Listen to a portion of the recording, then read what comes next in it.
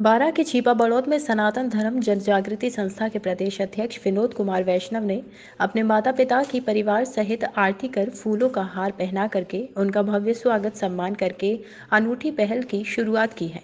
ये आयोजन कालाजी के बाग ग्राम टांचा में आयोजित किया गया। इस अवसर पर अध्यक्ष विनोद वैष्णव ने अपने संबोधन में कहा कि माता पिता की सेवा से बढ़कर दुनिया में कोई सेवा नहीं है। हम सबको माता पिता की सेवा करनी चाहिए।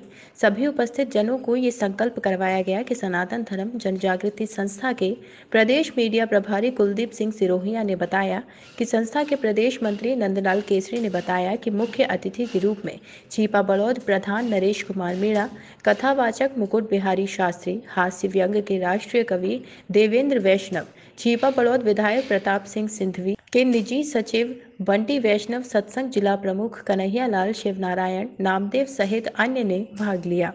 टॉप का चैनल लगा लिया भाई साहब। टीवी हाँ पे चल रहा था दे कपड़ों में गाना। हाँ बाबा करो। हाँ भाई पाँच मिनट करो टीवी पे चल रहा था दे कपड़ों में गाना। बेटे ने कहा दूसरा चैनल तो लगाना।